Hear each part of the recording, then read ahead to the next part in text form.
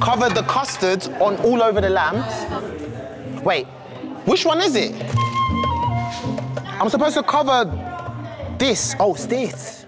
Mustard. That's this, isn't it?